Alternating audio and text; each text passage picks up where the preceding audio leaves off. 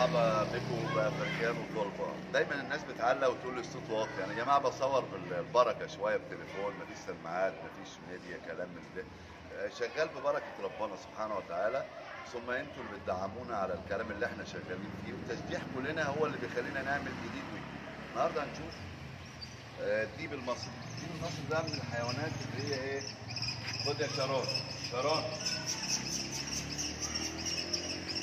من الحيوانات اللي هي يعتبر ضالة في الصحراء أو في الغربان دايما تاكل الحاجات الجيفة والرمة فإحنا بنوكلها عيش ونحاول إن إحنا نهديها ونخليها تألف على المكان وعلى العيشة وعلى الناس. وبرضه الناس تقدر تربيها في بيوتها وفي الفلل زي الكلاب الولف كحراسة و- وبيألف. وبياكل عيش بفوائد من اللحمة بلحمة جملي فوائد يعني كده بنعملها فايدة من الأكل بنغمس العيش وناكل. الديب ده أنا مسميه شران لأن الديب مهما يطلع ولا ينزل هو جيفة يعني حيوان هو اسمه حيوان رمه جيفة مسميه شران والنتايه بتاعته اسمها كوزوليكا آه نتفرج مع بعضنا الديب ده بيعمل إيه ونحكي لكم جوه أفضل عشان الصوت يبقى واضح. شارون شارون بص يا شارون اخويا بص يا بص بص بالراحة يا شارون بالراحة. لما قول بالراحه ما تنطش. يا ولد يا شارون يا ولد كوزوليكا إيه الحلاوه دي؟ إيه الحلاوة دي؟ إيه شارون؟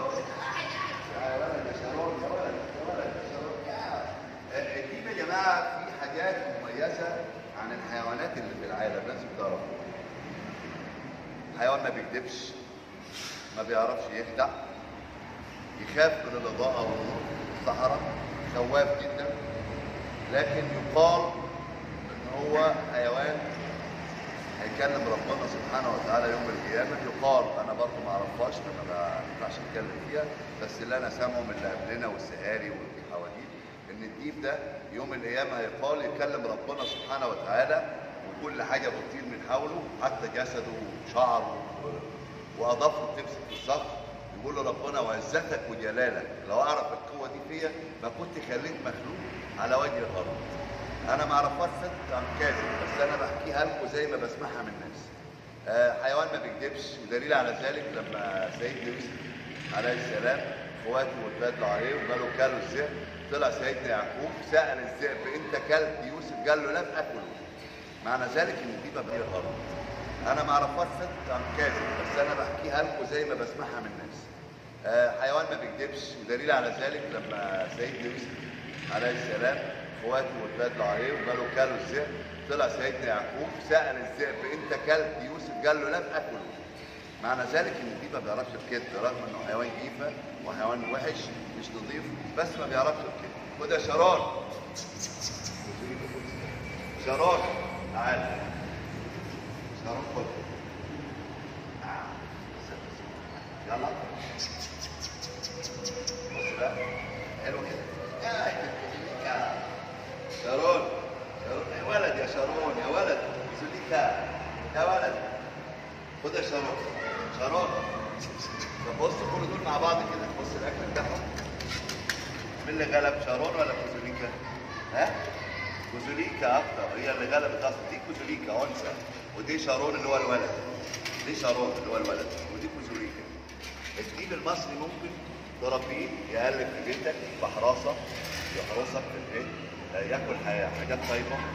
آه، تنفع تجيب كلب ولف من أنواع الكلاب المقاربة له جسمانيا وشكليا وتجوزه وتهجنهم مع بعض وفي بعض الشباب في مصر عملت كده كتير. يعني بنحاول نعمل حاجات جديد ونجيب وسوكا برضه زعلانة إن هي ما بتاكلش. يعني حاول تجيبها برضه راضيها يا حمادة. سوكا! تعالى يا سوكا. خلاص كمان؟ خلاص يا خلاص تمام؟ باي. يلا.